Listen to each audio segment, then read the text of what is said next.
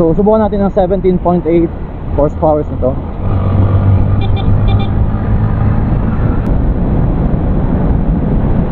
Meron dalawang version ang Sniper 155. So alright mga bro, so ito ang itsura ng 5.9 and a half na nakasakay sa Sniper 155.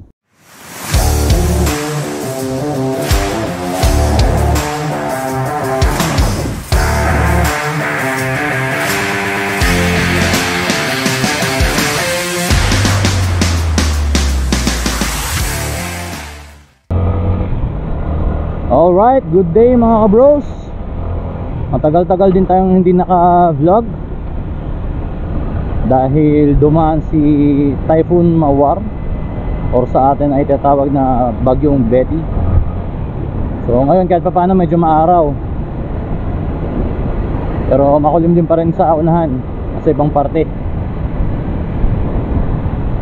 So kung Yamaha may tinatawag na The Dark Side of Japan o, doon naman, the dark side of Palawan. Walay. so anyways, this is another one from Yamaha. At isa to sa mga pinaka may init na katunggali ng isang brand na tinatawag naman na the King of Underbone. So, tinatawag rin to ni Yamaha na Sport Underbone and this is the Yamaha Sniper 155 so ride impression muna tayo mga bros. Syempre underbone. Madali i-handle kasi magaan siya. Hindi mo to katulad ng mga big bike di ba? Pero hindi ito ang pinaka magaan na underbone mga bros. Nasa 121 kilos ito. Yung iba kasi mga underbones barely 100 kilos lang ito ng mga smash mga XRM Siyempre hindi natin pwede compare dahil una-una malaki ang makina nito. This is 155cc Kaya medyo may kabigatan din siya. Nagkaroon na rin ako before ng Raider 150 na laging kino-compare dito. Pero for me ah mga bros Hindi siya pwedeng kumpara dito eh. Magkaiba kasi sila. Kahit sabihin mong 155cc to Pero para sa akin built ito for circuit racing. Kumbaga sa bankingan maganda to. Kung akong tatanungin because of yung frame nya then yung yung pinaka design mismo ng pagkakagawa ng motor na to is more on para sa akin sa mga circuit racing mga bankingan ang Raider 150 kasi yung itsura ng frame nya payat, matulis na mahaba. For me better siya for drag racing pero sa mga banking yan uh, sniper talaga okay talaga siya. Paano ko masasabi yun? Dalawang beses na ako nagkaroon ng Raider 150 yung unang version na medyo payat yung muka and then yung pangalawang version naman na yung mas malaki na yung muka. Then suspension medyo may konting tagtag. So subukan natin ng 17.8 horsepower nito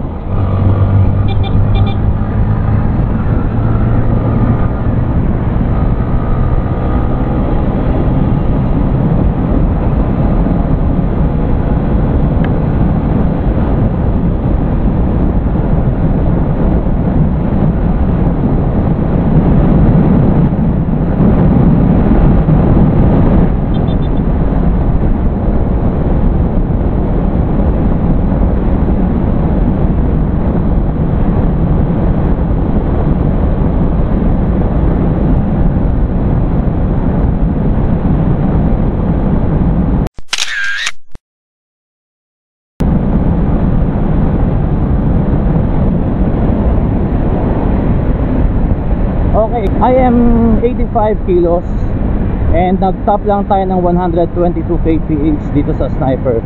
Uh, may mga factors yan. Una-una mabigat ako. And then pangalawa is medyo malakas yung hangin. So kahit pa paano may kontra. Pero sabi ni owner na patakbo niya to ng nasa 140. Yun, sagad na sagad niya na yun. Pero sa case ko na 85 kilos uh, 122 kph I think enough na rin naman siya. Then isa pa napapansin ko dito mga bros yung medyo pakiramdam ko ang taas ng pagkakaupo ko eh.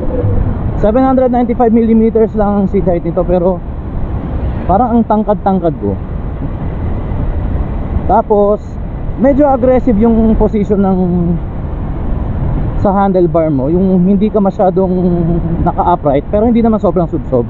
Pero yung lower body mo medyo relax siya. Straight lang siya halos pababa. Hindi siya medyo naka-atras yung legs mo. I mean yung foot pegs hindi, hindi siya naka-position sa likod. So yun lang naman medyo konting aggressive yung position ng upper body but the lower body is medyo relax yung position niya so let's try the acceleration naman mga bros. Sniper 155 in 3 2 1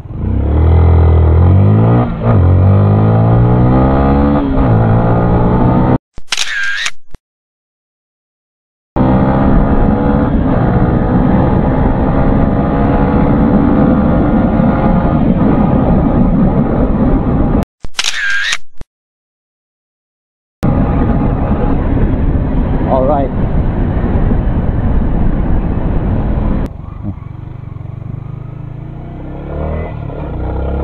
So para sa akin sapat lang yung lakas ng motor na to pati yung bilis niya.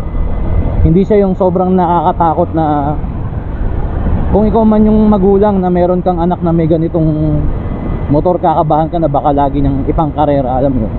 Although mabilis na rin tong motor na to kumpara sa iba pero for me hindi siya yung sobrang bilis na para sa akin malalagay sa alanganin yung driver mabait-bait pa siya eh so shoutout pala sa owner nito na estudyante namin. Si Dion Ken Dianto. Thank you very much Ken for letting me try your bike. Ingat lang lagi sa pagmamaneho. Yun. Medyo may konti talagang tagtag yung shock niya. Hindi man masakit sa katawan pero andun yung medyo masasabi mong may konting tigas pero advantage yun sa mga bankingan kaya nga maganda sa bankingan itong motor na to eh. Let's try the brakes. 60 oh. okay. So nagfi-fishtail tayo. Ewan ko kung narinig sa video pero kumiskis yung ating gulong sa likod. So medyo disadvantage lang kasi dahil wala siyang ABS so kapag ka walang ABS ang tendency is na fishtail ka. Kaya kapag ka gantong motor at uh, walang ABS dapat medyo ingat-ingat sa pagpreno. Para maiwasan natin yung dudulas tayo at pwede tayong maaksidente. Yung stock niya na side mirror ang ganda ng view. Kitang kita natin yung rear. Yan kabilaan talking about vibration may konti sa foot pegs saka may konti sa manibela. Kasi understandable naman yung mga bros eh na single cylinder ito. So ang tendency talaga is meron talagang vibration kahit nga 2 cylinders eh. Pero hindi naman sobrang bothering yung kanyang vibration. Okay na okay naman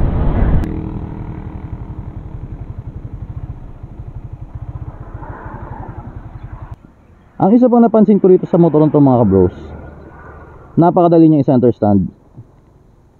Kahit hindi ko nangahawakan eh oh, oh di ba? Kasi yung ewan, siguro yung pagkakagawa talaga nila napakadali niyang i-center stand. Walang ka effort effort. So ito yung motor.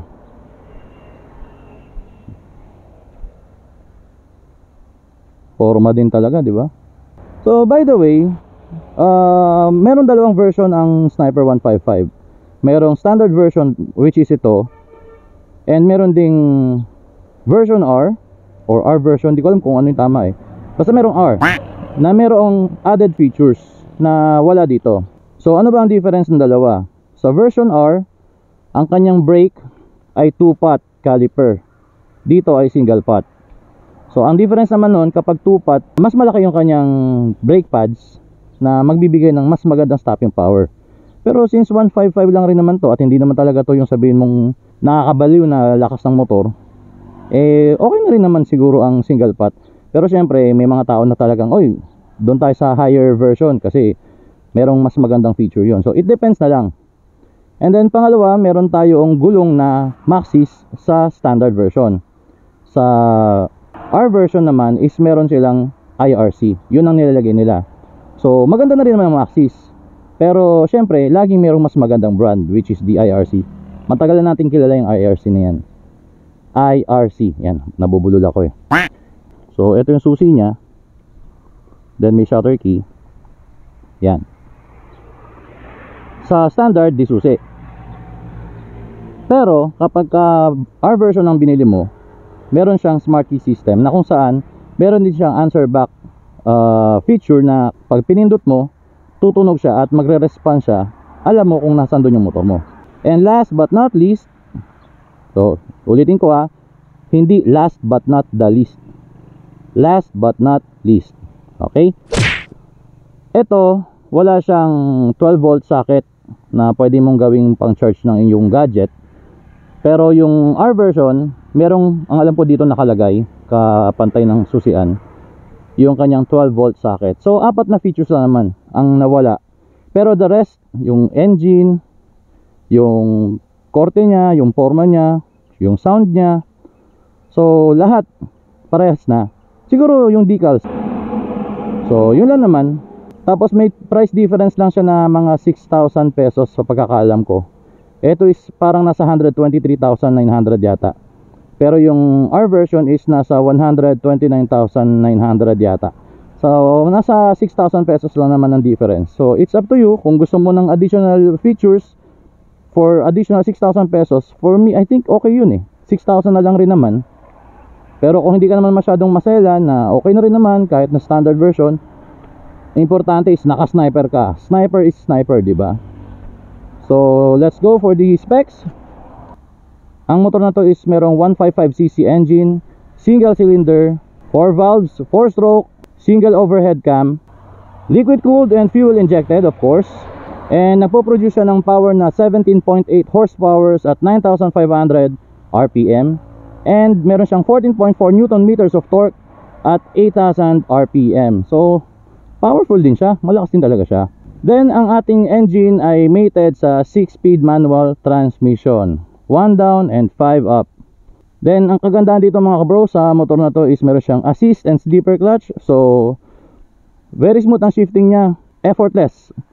Every time na nagsishift ka swabing swabe lang. And then sa front meron tayong standard fork single pot caliper single disc brake and uh, stock na Maxxis tire na 120 70 70 na tubeless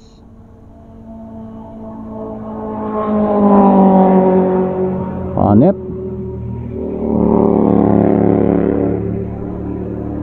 sana all. And then sa rear meron tayong uh, monoshock suspension na non-adjustable. And uh, meron tayong Nissin na single pot caliper din. Single disc brake. And Maxxis tire na stock na merong 120 70 70 na size. Tubeless din syempre and nabanggit ko na kanina this bike is not equipped with ABS so medyo ingat lang tayo sa pag brake lalo na kapag kami mga loose gravel or pagka basa ang kalsada or kauulan lang para at least kahit pa paano iwas tayo sa disgrasya. And then sa ilalim ng seat mga kabros So tingnan natin. Uh, Pihitin mo ng pakaliwa. And then yan na. So ito lang naman ang laman sa ilalim. May libreng towel So yan. Uh, Wala kang may lalagay dito kundi towel eh. Then meron siyang 5.4 liters na fuel tank capacity. Then meron tayong lalagyan ng tool na kasama na rin sa motor. Then yung manual. And then I think yung battery nito nandito rin eh. Dito banda. So 5.4 liters ang kanyang fuel tank capacity and nagre-range ang bike na to ng 35 to 40 kpl so that's around 200 kilometers in one full tank. And then kung titingnan yung upuan niya um, medyo payat dito na hindi masyadong malambot. And then sa likod mas matigas. Tapos iba na yung texture dito. Dito, dito medyo smooth na makapit din siya. Tapos dito naman yung parang may mga konti siyang mga yan, texture dito. And then ito yung kanyang uh, grab bar na maliit lang. Then ang maganda rito kasi pinantay niya rito sa puwitan na payat na matulis din. So umaayon siya sa shape ng kanyang puwet na nagbibigay ng additional na pogi. Hindi niya sinira yung pagiging aggressive ng design sa tail section. Ayan. And then kung titingnan natin sa front mga kabros oh, para siyang ano eh no? Para siyang agila. Sobrang aggressive ng design niya. So alright, check natin ang instrument panel. So yan. Ah, comment ko lang sa instrument panel nito mga kabros. Hindi ko alam kung dahil naka inverted siya. Pero nadidiliman talaga ako. Hindi ko masyadong nakikita yung mga details lalo na nung nag acceleration test tayo kanina. Kahit maliwanag, hindi ko masyadong makita yung mga detalye niya. Yung mga infos. Pero sana ma-improve pa ni Yamaha tong part na to. Pero okay na rin. So ito na instrument panel niya mga bro. So gear indicator dito. Then tachometer, speedometer. Then meron siyang fuel gauge. And then sa baba is the odometer. So meron siyang button dito. So trip 1, trip 2. Then trip ng fuel mo kapag ka naka-reserve ka na. So once na nag-reserve na siya, automatic lilipat siya sa F which means at least na monitor mo kung ilang kilometers na mula nung nag-blink. And then may clock. I think this is the real-time fuel economy. And then average fuel consumption. Then average speed. And then yun, balik tayo sa Odo. Once na gusto mo i-reset yung trip meters mo, so just long press this one and then magre-reset na siya.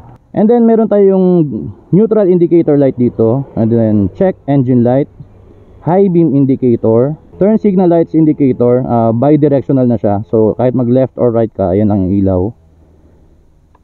And then meron tayo ritong engine temperature light. So tingnan natin. So yan, kapag mainit na ang makina mo, talagang sobrang init na dahil nga liquid cooled ito, tapos baka natuyuan, hindi mo chine-check, iilaw yan siya. So what else? So wala na. So yun na. And then syempre, merong maliit na logo ni Yamaha dito. And then sa controls natin, meron tayong clutch lever na non-adjustable pero sobrang gaan kahit isang daliri. And then high beam and low beam switch and then passing light switch, press mo lang to sa baba. And then turn signal lights left and right, press to cancel. Stock na horn, yan ang tunog. Then to the right, meron tayong brake lever na non-adjustable. Engine kill switch, off and on. Ang maganda sa motor na to, meron siyang hazard light. Oh, yan. See? So this is the switch off. And then, of course, the electric starter switch. So this is the sound of a stock engine of Sniper 155.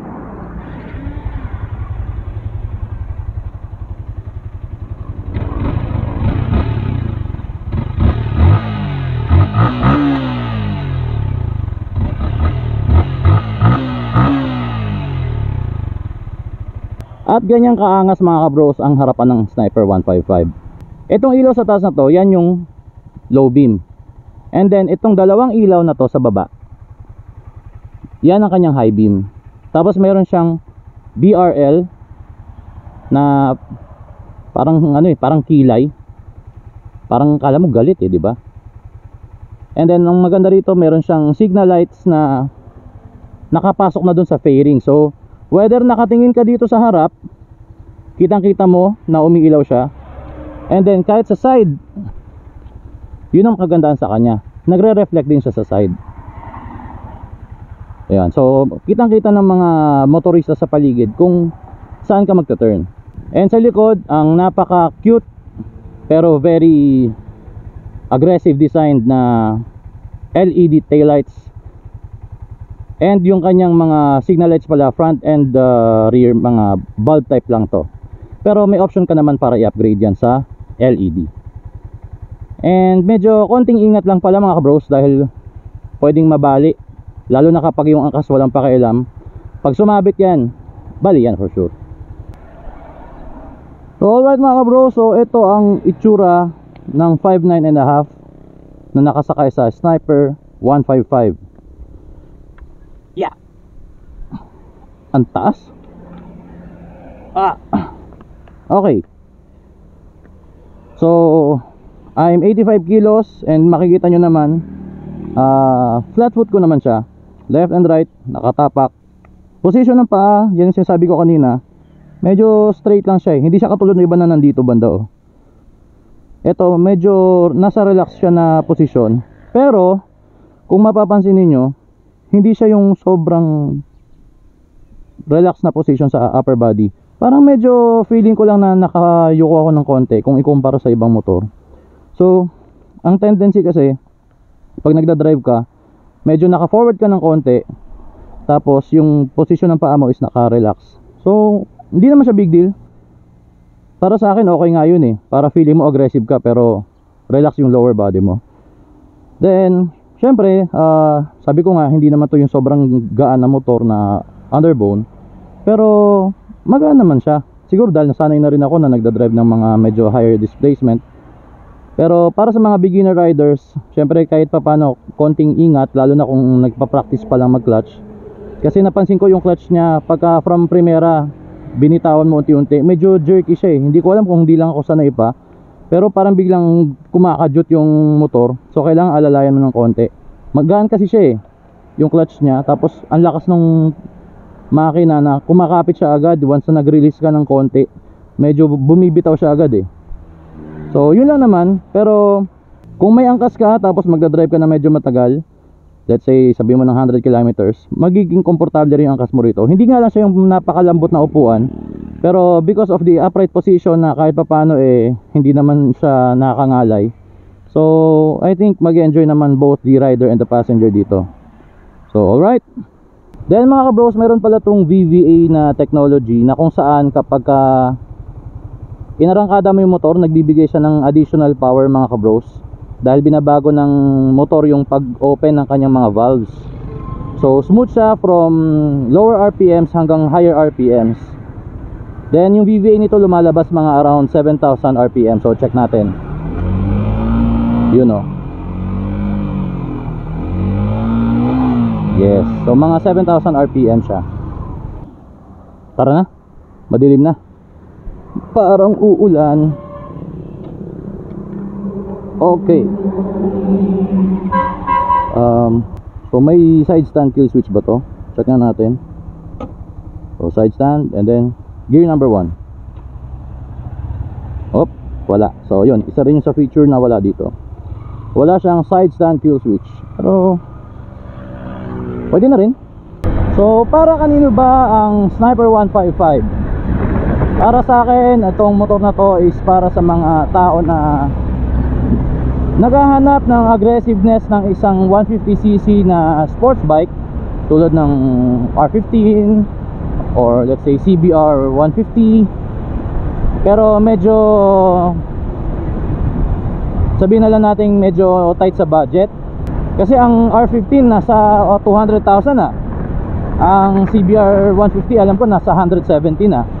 Pero sabihin na natin may pera ka. Maaring ayaw mo rin ng mabigat na motor kasi ang mga additional fairings ng mga sports bike tulad ng mga ganon. Dagdag weight din yun eh.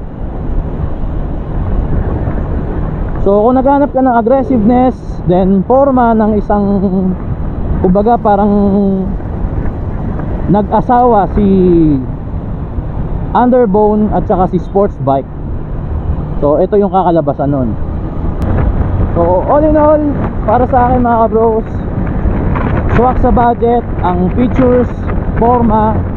Shoutout sa EXPL Arm Moto Club at saka sa EXPL Riders Club. Shoutout din sa mga tropa ko dyan sa 17 Culture tsaka sa Tyzone. Shoutout na lang sa mga taga-cheer dyan at sa ating mga kasama dito. At bago pa tayo maulanan, magpapaalam na ako. This has been your bro, nagsasabing always, ride safe stay alive. God bless.